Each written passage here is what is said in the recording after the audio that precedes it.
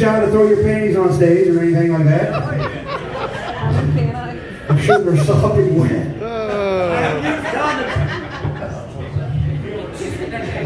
What are we, what's going on? What are we doing?